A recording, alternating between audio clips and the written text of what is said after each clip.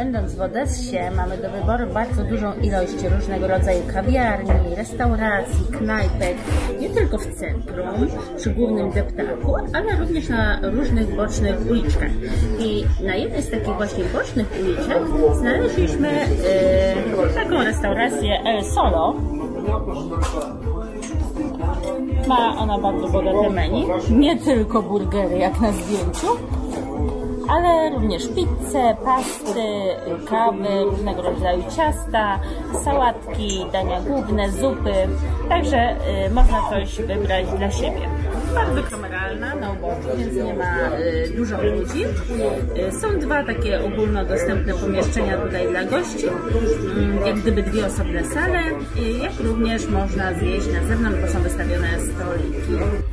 E, Przyniosła nam pani tak fryteczki, e, do tego keczupik i tutaj taki masiupeńki zestawik, e, kurczaczek smażony, ser żółty i Pieczarki. pie, tak, pieczarki i taki maluśki pomidorek. Taki bardzo mały zestaw. I jeszcze było zamówione Tak, jeszcze czekamy na ser prażony. ser prażony z jakimś e, sosem jagodowym. Tak, zobaczymy. No na razie zabieram się za to. Ser prażony e, podany jest tutaj na słodko e, z drzemem polanym truskawkowym, posypane cukrem pudrem i do tego sos jagodowy. Jest to mega, mega dobre tak na słodko.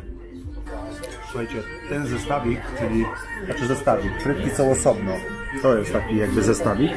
To jest rewelacyjny. Serek w takim oleju, kurczę, nie wiem do czego to porównać, ale jest to pyszne. Pieczareczka, kurczak plus, em, plus ser żółty.